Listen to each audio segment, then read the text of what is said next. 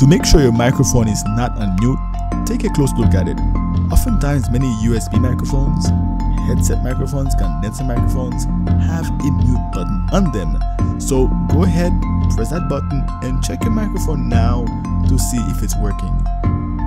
If you are using a laptop and you are using the microphone that comes inside of it, there may be a mute button on the keyboard as well. Oftentimes it looks something like this. The second way of fixing this is to make sure that your apps are allowed to use your microphone. To do that, click the start button and then type microphone privacy. And then from the search results, select microphone privacy settings. Alright, and now this will take you to the privacy settings for your microphone. Under where it says allow apps to access your microphone, click this button right here to toggle it on and this will enable by default apps to access your microphone. Now, even after enabling access to the microphone, make sure to double check the list of apps because by default, a few of them may still be disabled. As you can see right here from this list, my voice recorder app, the microphone for it is disabled by default. So let me toggle that on and there you go, it's now enabled.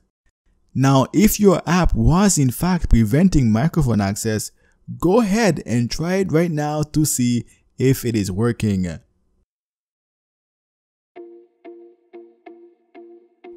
The third way of fixing this is to make sure that the correct microphone is set as the default device. To do that, click the start button and then type sound settings. And then from the search results, select sound settings. After this, you will see categories for sound output and sound input. Well, simply put, the sound output is for your playback devices like headphones, speakers, and so on. And sound input is for your recording devices like your microphone. And that's why we are going to focus on the input devices. Under where it says choose your input device, click this drop down menu to select the default microphone. As you can see for me, in my case, I have two microphones. The microphone that came with my laptop and the Blue Yeti USB condenser microphone. Because in my case, the Blue Yeti microphone is the better microphone, I am going to choose that as the default device. So in your case, choose the microphone that is best for you.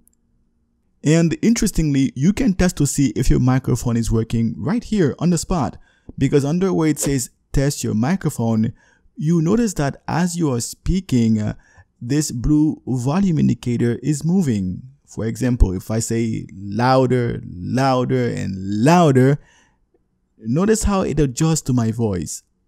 Now, if you click where it says device properties, you can manage this even further. For example, it even allows you to change the maximum volume of your microphone. So go ahead, tweak those settings to see what is best for you.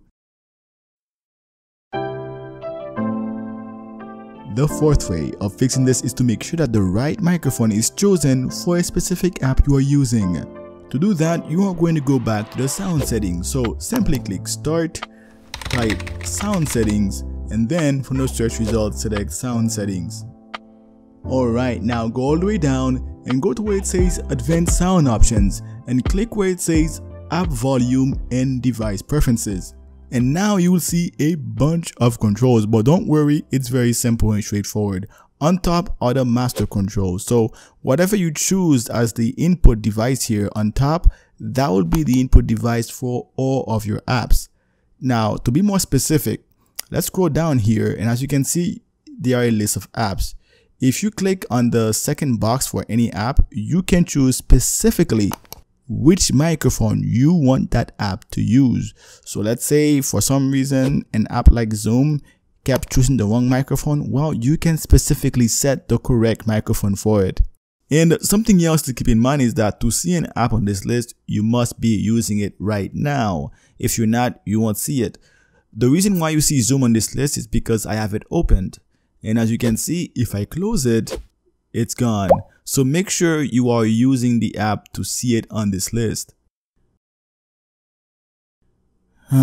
well, what if you tried everything, including making sure that the microphone is not muted and that everything is plugged in correctly and nothing seems to work, well, it could very well be that the sound chip inside your laptop or computer is broken.